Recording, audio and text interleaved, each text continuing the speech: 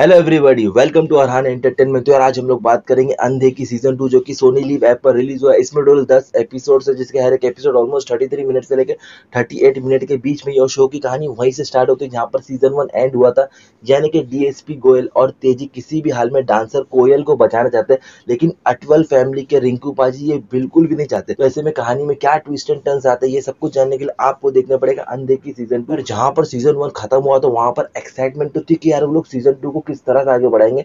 लेकिन अगर आप लोग सीज़न टू को देखो तो एक्साइटमेंट बिल्कुल भी फुलफिल होती है। पर हिमाचल में रहने वाली एक ऐसी फैमिली को बताया जो इतनी पावरफुल है कि इनके पावर का डंका दिल्ली तक बजता है। कि दिल्ली तक लोगों की फटती है अटवल फैमिली से। तो ऐसे में इनके चुंगल में अगर कोई आ जाए तो उनका बचना तो भाई नेक्स्ट टू इम्पॉसिबल है। वो चीज़ आपको कहीं ना कहीं इस पर्टिकुलर शो में समझ आती है कि अगर तुम्हारा कभी अटवल फैमिली या इन जैसी किसी फैमिली से पाला पड़ा तो आपका भी राम राम सत्य होना तय है शो में कुछ नए कैरेक्टर्स की भी हुई, जिसे प्ले किया है नंदी सांधु और मैंग चेंग ने। बट वो कैरेक्टर आके कुछ एक हालक हटके चीज़ नहीं कर पाए, लेकिन हाँ कैरेक्टर्स के आने के बाद शो में कॉम्प्लेक्सिटी भी नहीं बढ़ी है।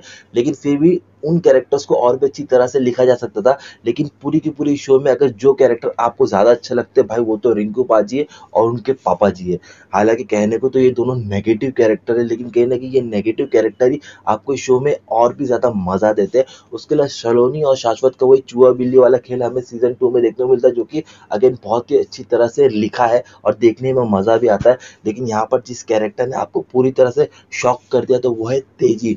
सीज़न वन में जो लड़की डरी सी लग रही थी और सीज़न टू में उस लड़की के जो कैरेक्टर के में डायनेमिक्स हमें देखने को मिली है। लिटरली तेज़ी ने तो भाई दिल जीत लिया।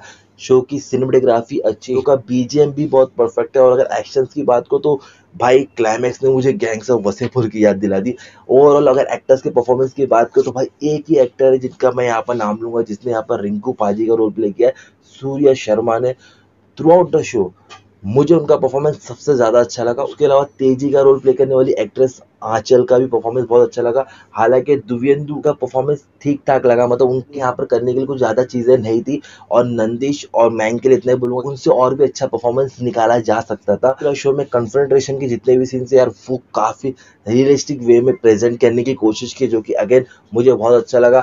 और शो के अगर डायलॉग्स की बात करूँ तो यहाँ पर हिंदी, बंगाली और पंजाबी, इन तीनों लैंग्वेज को मिक्स करके जो डायलॉग्स बताया है ना, वो आपको सुनने में अच्छे लगते हैं और काफ़ी इंडियन भी महसूस कराते हैं। हालाँकि ये इंडियन सीरीज़ है, लेकिन फिर भी जब अलग अलग लैंग्वेजेस हम लोग किसी एक शो में देखे तो हमें वो एक पैन वाली फीलिंग देती है। ओवरऑल मैं इतना कह सकता हूँ कि ये फैमिली साथ बैठ के तो मत देखना, लेकिन ये सीज़न वन की जो एक्साइटमेंट थी, वो आपकी फुलफिल ज़रूर होगी सीज़न टू देखने के बाद।